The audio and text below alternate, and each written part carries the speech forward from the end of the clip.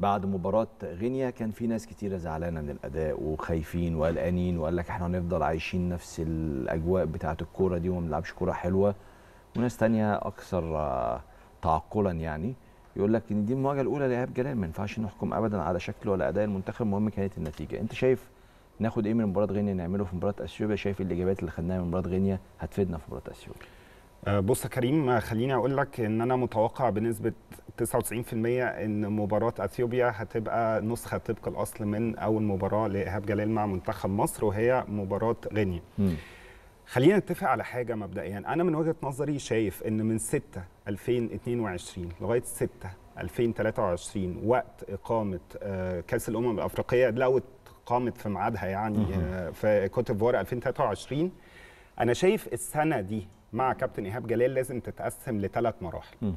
أول مرحلة فيهم هي ضمان الصعود لكأس الأمم الأفريقية 2023 دي أول مرحلة. دي بنسبة 80% هتتحسم من أول مباراتين يعني لو قدر ربنا إن شاء الله اللي إحنا قدرنا نفوز على إثيوبيا يبقى إحنا بنسبة 80% إحنا متأهلين لأن أول وثاني مجموعة بيتأهل. صح. دي المرحلة الأولى.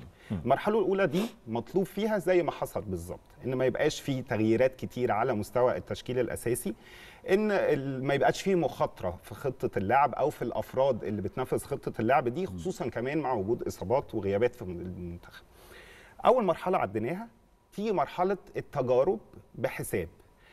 المراكز أو الأفراد اللي في ممكن قصور شوية فيها أو في مستوى متوسط فيها إن يبتدي يتجرب آه، عناصر تانية في نفس المراكز دي بحيث إن إحنا نشوف الأداء معاها ممكن يختلف ولا لأ. لأن أنا بنسبة كبيرة جدا الموضوع ليه دعوة بالقدرات الفنية أكتر ما منها خطة لعب.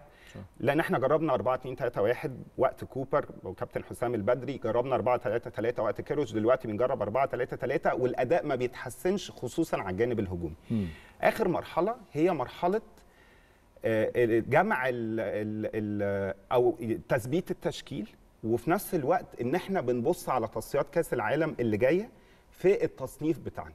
لازم يبقى في خطة مدروسة لمباريات آه، ودية على آه، يعني مستوى أعلى شوية يكون فيها تثبيت للتشكيل ده اللي يكمل إن شاء الله معانا لتصفيات كأس العالم. عظيم. فبالتالي أنا شايف إن دي ثلاث خطوات أو ثلاث مراحل في. السنة القادمة. عظيم. فأول مرحلة أنا مش حاسس إن هيبقى في تغيير في المباراة القادمة. إن شاء الله.